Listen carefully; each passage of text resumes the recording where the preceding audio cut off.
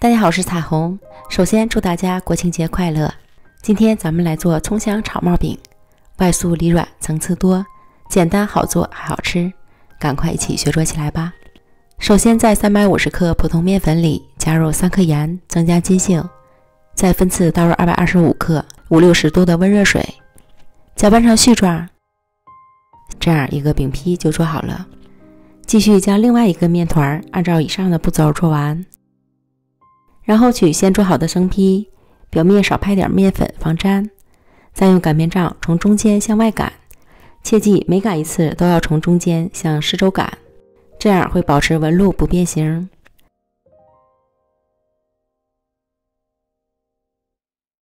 最后按自家锅的大小擀成圆形饼坯，电饼铛开大火预热，刷油，放入饼坯。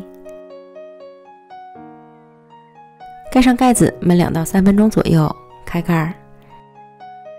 这时饼已经变色鼓起，表面离油，翻面儿。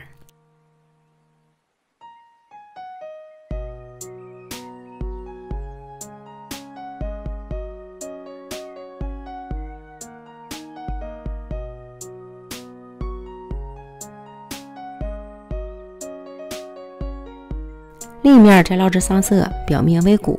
即可出锅。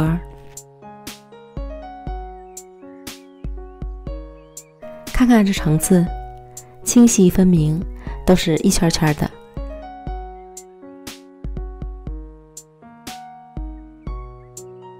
这样，咱们的葱香草帽饼就做好了，外酥里软，层次丰富，还全都是小薄层，吃起来有淡淡的葱香，淡淡的咸味儿，可以一圈圈的撕着吃，口感超好。真是越吃越爱吃，喜欢的朋友就赶快试试吧！美食天天更新，咱们明天见，拜拜。